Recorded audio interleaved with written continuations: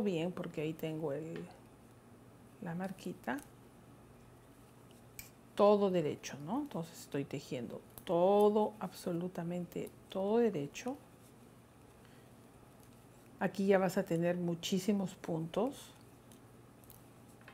porque has llegado a lo que tú quieras. Normal, yo estoy haciendo con palos de tejer pequeños, pero quizás sería bueno que hagas o con circular o que hagas con eh, palitos eh, grandes, porque si no es, es un poco incómodo tejer con palito chiquito, debido al ancho, ¿no? Entonces, bueno, entonces has terminado toda esta carrera de división. Esto es lo que te va a dividir para que comiences a hacer tus eh, disminuciones. No vas a hacer en esta de punto jersey, mm, tienes que hacerla en esta, en el, en el punto Santa Clara, musgo, fantasía, tiene tantos nombres esto, entonces mira, aquí está, eh, aquí está mi división. Ahora, también te voy a dar una sugerencia para que no se te haga una colita, quizá lo puedes agarrar más adentro, porque aquí el tejido se me puede estropear. Entonces voy a empezar a tejer así. En vez de aumentar, voy a tejer todo, en este caso me toca derecho porque estoy haciendo todo punto fantasía, hasta mi penúltimo punto. Siempre voy a tener que llegar a mi penúltimo punto. Entonces, ¿qué voy a hacer? Voy a disminuir. Voy a empezar a disminuir y te voy a decir la forma como la vas a hacer para que el trabajo quede bien bonito. Como puedes darte cuenta, este es un punto básico, fácil, lo puede hacer cualquiera. no necesitas tener grandes conocimientos de tejido. ¿Ves? Aquí voy a agarrar el antepenúltimo y el penúltimo juntos y voy a convertir en uno solo. Luego tejo el siguiente. Entonces ya empecé a hacer mis disminuciones. Ahora volteo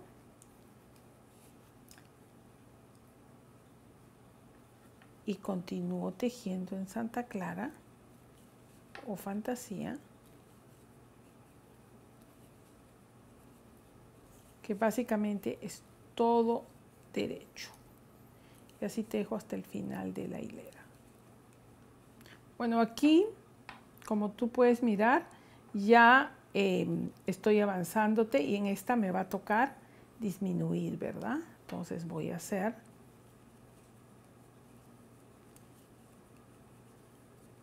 mi disminución. Vamos a repasar cómo se hace. Esto lo voy a avanzar rápido porque esto sí lo sabes tejer.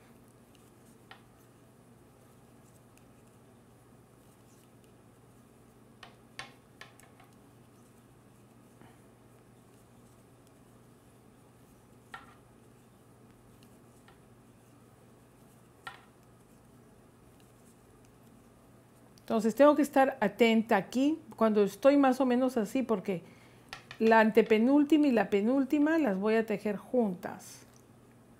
Voy a hacer esto y voy a disminuir. Y la penúltima sí la tejo, la última, perdón, sí la última sí la tejo normal. Entonces esto tiene que estar disminuyendo. ¿Te das cuenta? ¿Ves? He, cometido el error de ponerlo aquí. Tú no hagas lo mismo, ponlo acá. O, o, de aquí te guías, pero tú para que te quede bien el trabajo. Luego continúas y haces aquí sin ningún eh, sin ninguna disminución, haces todo para todo el derecho para que te forme tu quinta línea de figuritas, digamos, ¿no? Que no sé si parecen dientecitos o el punto Santa Clara que es tan bonito, ¿no? Bueno, ¿ves? ¿Te das cuenta? Esto se está empezando. Voy, a un ratito quitarle este imperdible porque lo va a malograr totalmente. ¿Ves? Me lo ha jeteado un poco acá. Entonces no, no vayas a cometer el error que yo hice de poner aquí al borde, sino lo pones, vamos a ver si lo puedo arreglar un poco. Bueno, entonces este va a ser tu borde. Quizá lo puedes poner aquí para continuar. Ahora, te voy a decir una cosa, este lo puedes sacar, pero eh, cuando, cuando más me he equivocado yo es cuando disminuyo. Entonces, esto sí tiene que ir subiendo, subiendo, subiendo, porque si tú ya estás por aquí y esto está abajo, tú puedes hacer la disminución bien fácil acá. Yo he desatado muchísimas veces hasta que dije, no, voy a poner marcas, porque yo estuve trabajando sin marcas, pero después me quedó horrible. Las marcas, mira, donde le he colocado las marcas se ha malogrado un poco el trabajo, entonces es bueno de que tú le pongas las marcas bien, bien adentro, donde tú te des cuenta que te está guiando nada más, ¿no? Para que no se te malogre. O quizá hay otra, hay otra marca que es Clover, que son más chiquitas y son quizá mejores. Estas son un poco gruesas. Luego continúas. Aquí ya vamos a cambiar de punto.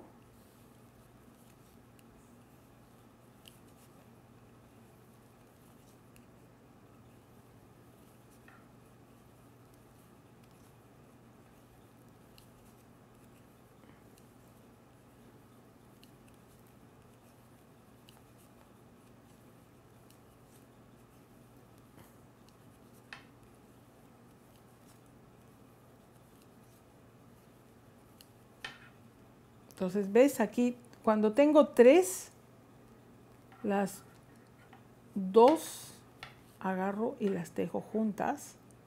Mira, esto está quedando así, ¿ves? Feo, pero no te preocupes. Esto, si lo jalas bien, va a quedarse muy bien, ¿ves? Entonces ya está empezando a disminuir. ¿Te das cuenta? Son cinco de estas. Una, dos, tres, cuatro, cinco. Y en, en esta hemos acabado, ¿no?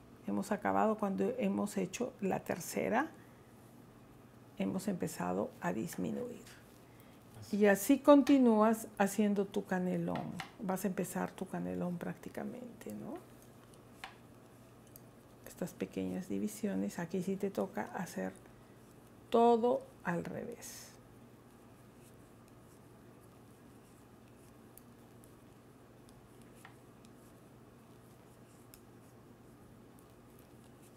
Entonces hasta el final de la hilera. Bueno, yo he terminado eh, la carrera y estoy formando el canelón. Como te darás cuenta, están empezando a ver las disminuciones. Aquí las puedes ver. Está empezando a formarse el, el mini chalcito, porque esto es una, podría ser para una muñeca, yo creo. Pero esto es lo mismo que el grande, ¿no? Entonces, eh, yo te sugiero que eh, uses algo más finito. Yo estoy poniéndote estos grandes para que los veas, para que no te malogre el tejido. Yo te voy a continuar haciendo las disminuciones. Vamos a hacer una hilera más para repasarlo y después yo te voy a avanzar fuera de cámara hasta enseñarte cómo calcular la parte final. Entonces vas a tejer todo punto derecho. Este es, estamos haciendo el punto jersey, digamos, que es el básico. Este sí que es el primer punto del tejido. Entonces, yo creo que también para principiantes esto podría ser un buen proyecto. O también puedes hacer una bufanda derecha, ¿no? Y coserla y que te quede como una infinita. Eso podría ser un muy buen proyecto para principiantes. Entonces, perdón, ¿ves? Me había equivocado. Cuando tú llegues a las dos últimas, a las dos penúltimas, perdón, vas a, tejerlo junto y luego tu último. ¿Ves? Entonces sigue disminuyendo. Entonces te das cuenta que es fácil y mm, yo te voy a avanzar todo fuera de cámara hasta que te enseñe a calcular cómo acabarlo. Eh, bueno, mira, yo ya te he hecho todas las disminuciones. Eh, y voy a llegar a esta parte, a estas 16 eh, carreras, ¿no? que son 8 de estas figuras. Ahora, hay una cosa bien importante. Aquí yo tenía 10 y aquí otra vez tengo 10 para comenzar. Ahora, como este tejido es grande, tienes que tener bastante cuidado de que no te olvides de aumentar o disminuir una vez. ¿Cómo te puedes guiar?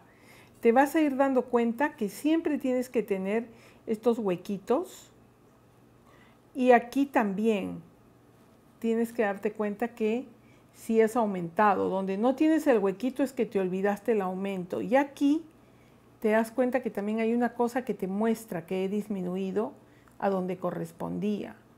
Porque si no, esto se te va a descuadrar. Aquí, de repente, en este punto vas a tener 8. No sería una desgracia que tengas 8 porque en vez de tener 8 de estas vas a tener 7 y no se va a notar. Pero ¿qué pasa si aquí tienes 5? Sería un problema, ¿verdad? O si aquí tienes 15.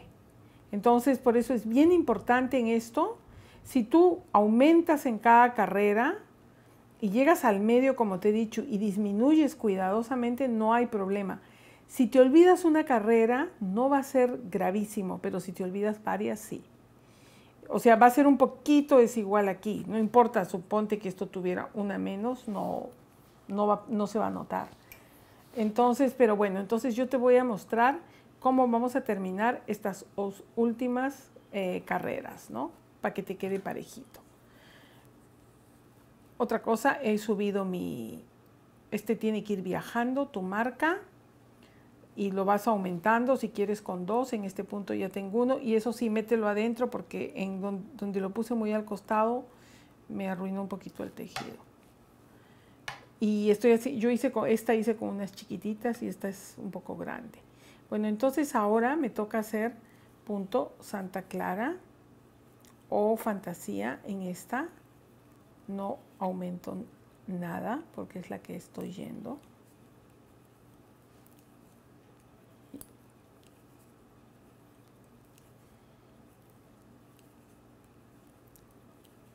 Ves que tengo 10 entonces ahora volteo y voy a disminuir para tener 9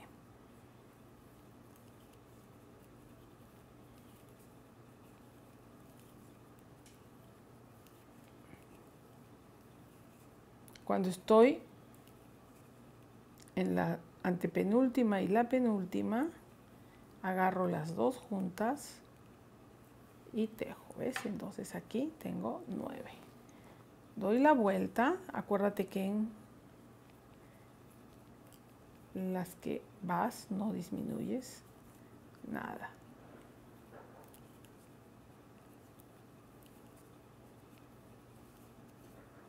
Todo derecho.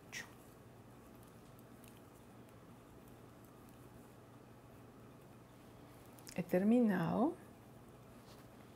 En esta me va a tocar disminuir.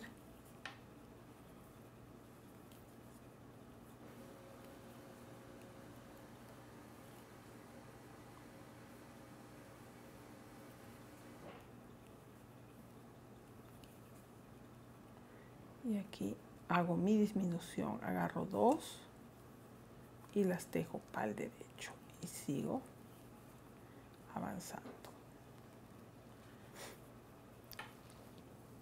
Y así continúas, ¿no?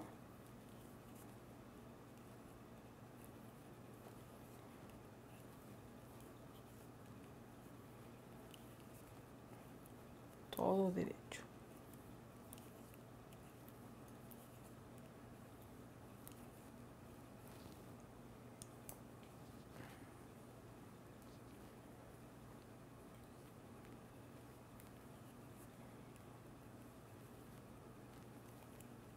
Aquí me toca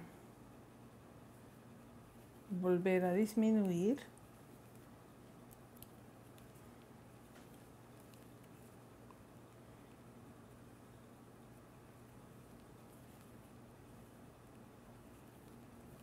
¿Ves? Y aquí solamente tengo 7.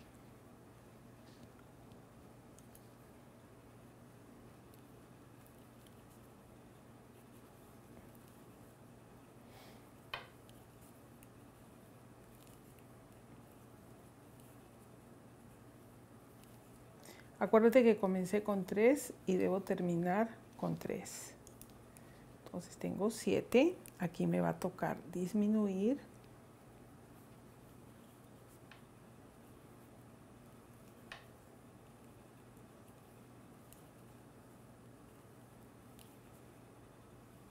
¿Ves? Aquí tengo estas dos últimas, las voy a tejer juntas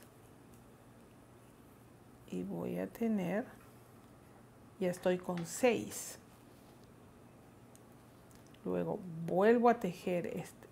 Cuando echo mi disminución y volteo, no me toca disminuir. Aquí estoy haciendo todo derecho.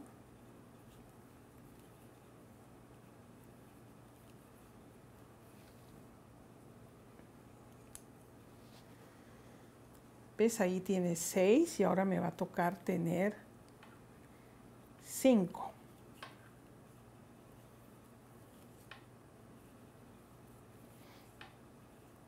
Aquí ves, me iba a tejerla, pero debo agarrar estas dos. Y ya tengo mis 5 puntos. Luego volteo. Y voy a tejer.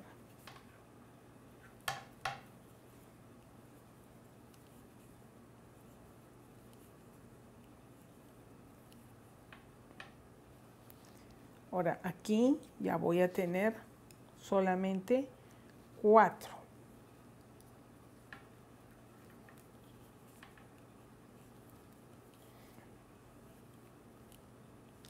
Tengo dos y tengo que tejer, perdón, aquí ves, tienes que contar bien porque es fácil equivocarte. Aquí cuatro.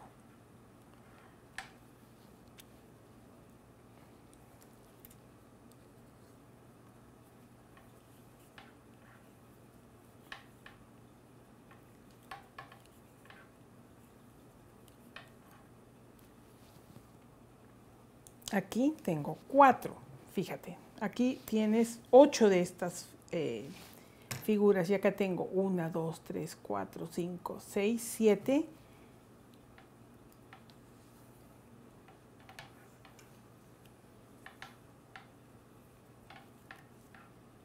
Mira, ¿ves? Ahí he cometido un error.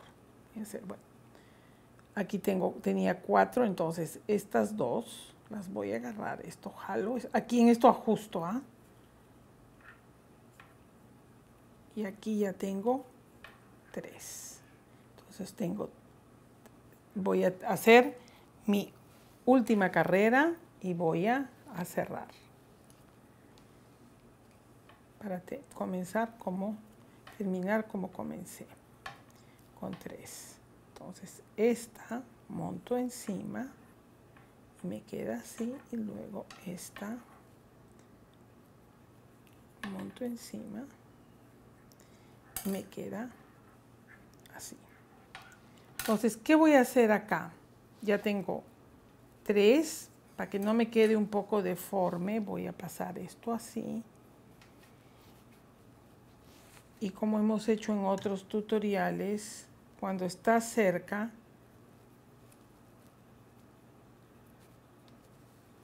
lana se me ha enredado un poco, comienzas a empujar hacia atrás, lo más que puedas hacia atrás. Entonces te das cuenta, hemos hecho, ahí está, exactamente igual. Te voy a dar algunos eh, tips o consejos para que te salga mejor. Bueno, lo primero que te voy a decir, no olvides de tener estas es, e, he, utilizado una un poco gruesa, que es normalmente para una lana más grande, para que tú las puedas ver bien en el tutorial, pero ya te digo que hay otras más finitas, o puedes usar un hilito, puedes usar un, unos, los chiquititos, lo que quieras. No los pongas a los costados porque aquí se estropeó, mételo un poquito hacia adentro. Ahora, bien importante, cuando tú, aquí están los dos, aquí hay ocho, y aquí tú tienes que contar cuántos puntos tienes cuando has terminado esta carrera, con tu aumento, cuando has hecho tu aumento. Entonces tú tienes 10 puntos, aquí también cuando tienes 10 puntos comienzas a disminuir. ¿Cómo lo mides? Como esto es bastante grande, lo doblas así y te vas, por ejemplo, ya has hecho tu medio, ¿no? Quizá ahí lo puedes marcar. Sería bueno quizá dejarle ahí una en el medio todo el tiempo, ¿no? Donde estaba el medio, quizá lo, le pones así para que te sirva de pauta. Entonces marcas. Y algo que te puede ayudar es, tú tienes que tener la misma cantidad de estas figuritas en ambos lados. Si acá tienes 20, acá también tienen que haber 20. Entonces, para que te quede, eh, para que te quede parejito. Ahora, si te has equivocado y aquí te quedan 7 o 6, no te preocupes, no se va a notar tanto. Claro, lo ideal es que te quede perfecto, pero bueno. Ahora, otra cosa que te quiero decir es bien importante. Esta lana tiene mohair, entonces es peluda es más delgada, pero la he tenido que tejer en un palo más grueso precisamente por el mohair. Eh, si, no, tienes una experiencia tremenda tejiendo, mejor haz con lanas más sencillas. Mira, se ve linda también. Eh, y, y te va a ser más fácil. El pelo a veces no te ayuda tanto cuando cuentas. Y si utilizas lanas oscuras, eh, también es más complicado. Yo cuando aprendí a tejer, aprendí solo con colores claros. Es como me enseñó mi abuela, colores claros. Casi nunca hice nada en azul, ni en negro, ni en nada. Todo era blanco, celeste, cosas así. Entonces, estas cosas tú las puedes hacer, depende cuán confiada te sientas. Ahora, si ya tienes mucha experiencia, esto es facilísimo y puedes hacerlo en cualquier tipo de lana. Estas son algunas ideas pero tú podrás hacerlas como mejor te parezca. Bueno, aquí tú vas a medir que tengas hasta la mitad, 80 centímetros, tiene un metro 60. Ahora, lo que yo he hecho que te podría ayudar es, yo se lo fui probando a mi hija y si la persona es más gordita, necesita más largo y aquí va a ir más abajo. Entonces, yo creo que tú tienes que ir midiendo a la persona. Esto es bastante estándar para una persona, digamos, de corte normal. Ahora, para una chica joven puede ser así o puede ser más chica. Ahora, grande una chica joven se ve lindo también, no importa que se ponga grande, chiquita, pero realmente es, em, esta es una idea más o menos estándar. Ahora, esto tiene una cosa, se te encoge un poco por las canelas. Te das cuenta que por el mujer no se ve mucho, pero se te encoge un poco, entonces cuando yo lo medí, lo medí así. Entonces, cuando te lo pongas, de todas maneras, esto va a estirar ligeramente. Eh, con tu aguja lanera terminas las uniones que tengas de lo que has unido una y otra madeja y con tu tijerita las cortas con mucho cuidado de no picarla. Eh, las fotos son, te las, las vas a ver, son bien bonitas. Aquí está el tejido, te lo voy a poner en otra forma y es un punto sumamente fácil para principiantes totalmente. Y si no te animas a hacer un, chal y estás comenzando a tejer, hazlo derecho los dos lados y después la unes y te queda como una bufanda o le pones flequitos al final. Pero este puede ser un buen principio para alguien que no, que no tiene mucha experiencia tejiendo. Y ya te digo, si no lo quieres hacer en punta, hazlo derecho y te quedará linda como bufanda también. Ah, amigas, ha sido un placer estar con ustedes, dejarme entrar a sus hogares. Eh, si te gustó este tutorial, haz clic en la manito y yo los espero en, para comentarios, para lo que ustedes deseen. Yo trato de contestar todo lo posible. Me pueden mandar en el Messenger, me pueden mandar, escribir en Facebook, estoy en Twitter, estoy en Instagram y por supuesto aquí al canal pero yo estoy muy contenta de todas las personas que me están escribiendo, escribiendo de los que se están suscribiendo en mi canal y em, de verdad muchas gracias y espero vernos en unos pocos días, si el Señor lo permite, en otro tutorial. Muchas gracias y que Dios las bendiga.